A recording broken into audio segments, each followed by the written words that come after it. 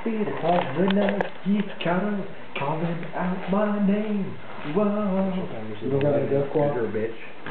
No, I don't have a whole lot of I don't have a whole lot of music on there because a lot of my music is on iTunes, and I have to I have to like try and get it all over the Zoom. Uh, just uh, in order to do uh, I think you go to uh, artists and then just like play all. And then they they go like games out, probably say like arcades, initially. It's roll higher than eleven. Eleven. But, uh, their, their, their music and the lyrics are really good. Alright, so Music's now we're gonna like, take out- Japanese sounds really awesome.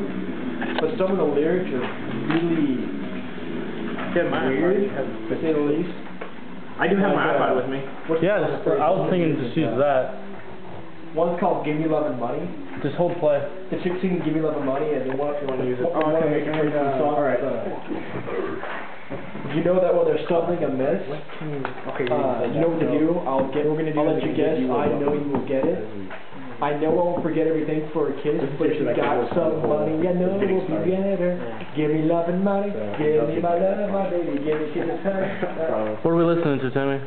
You know me the best I know. It's stuff like chicks and shit. Yeah. Cause it's like stupid, it's funny. It, it, it shows you how complex the dynamics is. Really shallow chicken just wants more money.